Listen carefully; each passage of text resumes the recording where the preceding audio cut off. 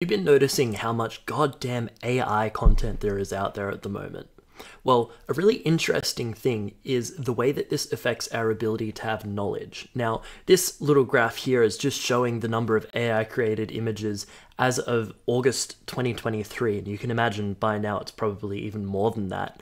Um, and this is just a few platforms uh, from from Adobe, but what I want to talk about today is how this affects our knowledge, how this uh, impacts philosophy.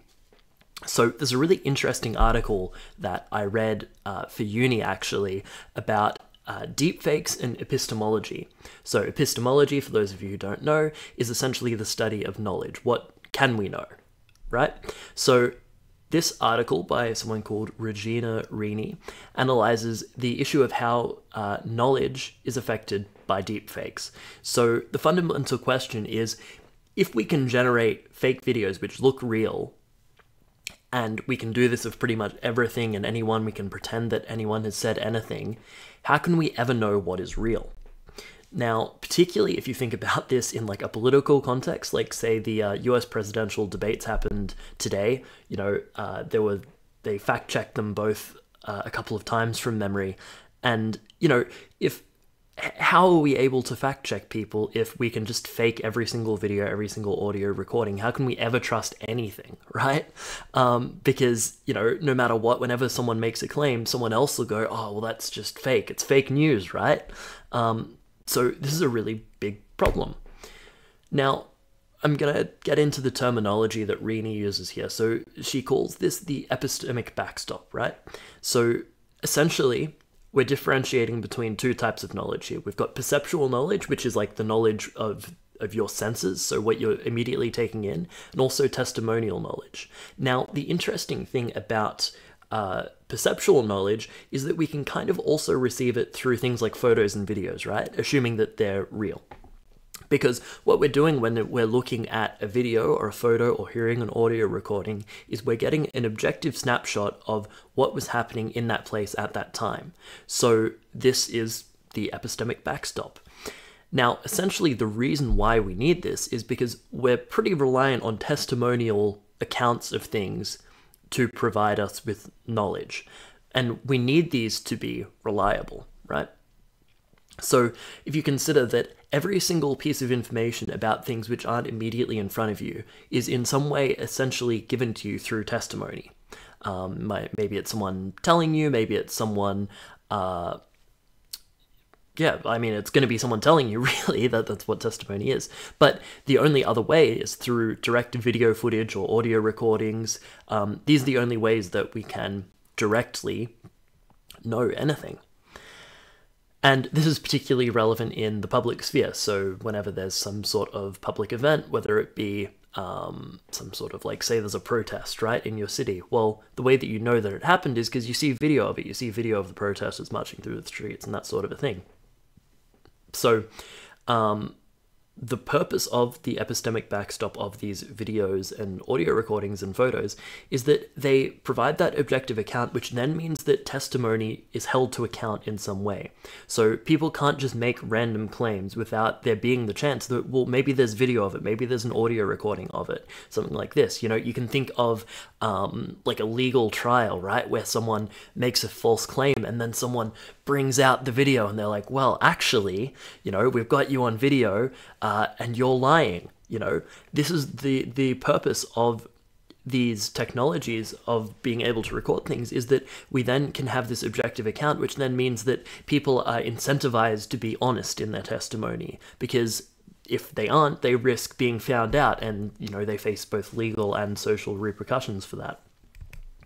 So a really interesting point that Rini raises is that the real problem actually is not that people will believe that AI images and videos and that sort of thing are real, because, you know, they're currently not flawless, um, and perhaps they never can be. Perhaps there's some sort of, you know, exponential uh, barrier to them never quite being there.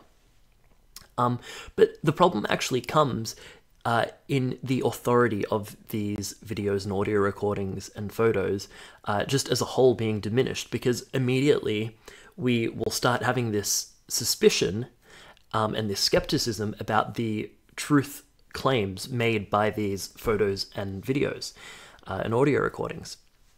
They may become mere testimonial accounts rather than a kind of proxy way of gaining perceptual knowledge, like we were talking about before, because the second that we can't trust them to give us perceptual knowledge, well, then they become testimony. Because we can't be completely sure that these are the objective way that events played out. Maybe they've been edited in some way.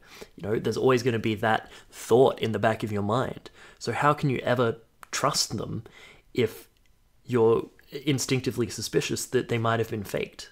Because you know that technology exists now, right? So, therefore, we no longer will have the same incentives to provide an honest testimony, which, uh, you know, has really concerning implications for our ability to be certain about public events, uh, particularly when you think about like the legal system. Um, we can see how this could be really problematic because if someone is able to fake videos, then they can potentially get away with anything. Um, and I guess the opposite is true as well. You know, if you can fake videos, you can convict anyone of anything, which is almost, you know, just as frightening. Um, and the reason why AI is particularly concerning, um, you know, we might think that, well, editing technology has been around for a really long time.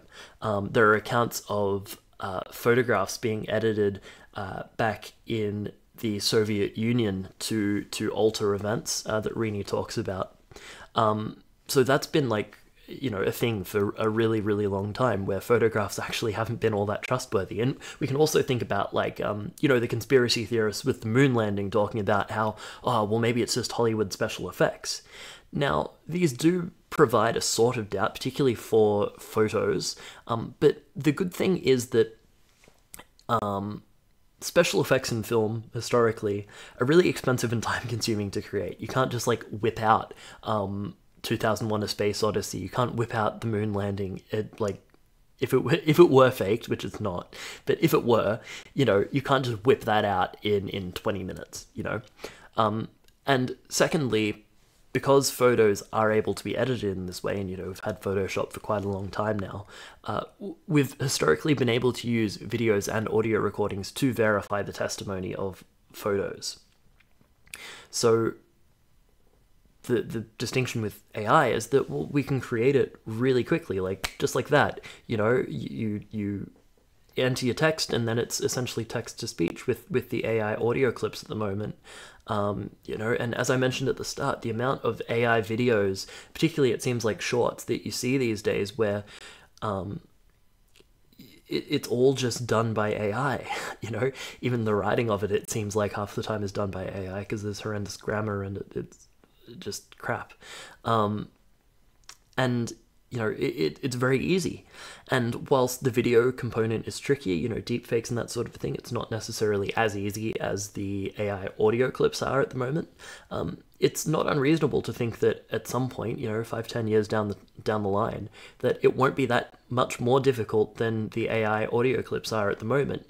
Um, we can just think about something like uh, the text to image stuff on on things like uh, ChatGPT and think, well, if we can just generate 24 of those a second, we've got a video, you know, and so long as we can perfectly imitate someone's face uh, on them, which, you know, some of them do a pretty good job of, of making faces, uh, it's not unreasonable to think that, that that could be really simple in not that not that far into the future.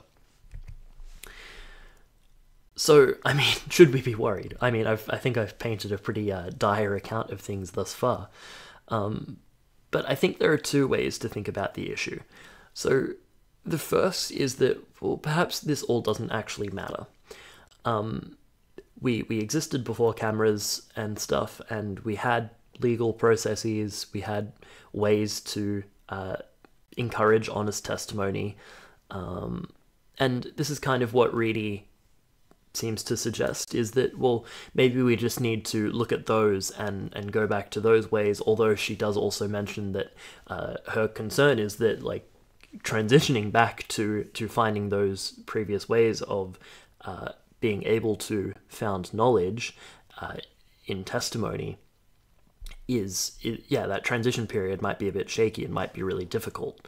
Um, and another position which which I considered is that supposing that AI generated content can always be detected, which I mean is kind of a big supposition, but let's say it can be. Um, we could say that then the epistemic backstop has merely shifted such that uh, the detection technology informs us of what we can and cannot use as perceptual knowledge. So, in a similar way to we were talking before about photos uh, using videos as verification, it could just be a similar thing. Um, and you know, much in the same way, we could we could allow some sort of margin for error there, where maybe some slip through the cracks. Um, but you know, so long as it's mostly uh, up to scratch and mostly detects the AI content, um, it seems like we'd be in a similar situation, and perhaps we could, in that sense, use uh, verified videos as uh, grounds for knowledge. Um, I, I, mean, again, one issue with this position, which is kind of alluded to by Rini, uh, is that, again, the issue isn't necessarily us trusting uh, the AI content. It's it's that we start to discredit the validity of things like videos uh, and audio and that sort of a thing. And really, in our everyday lives, are we going to go around checking every single video uh, and ensuring that it is real? I, am not so certain that we would do that. Uh, so that could be a really big issue in that uh, maybe in like big court cases and stuff, we, would be able to uh, find actual knowledge of a sort here. Um, but in our everyday lives, we'd still have this issue. Um, so yeah, I think that is that is a, a potential problem there.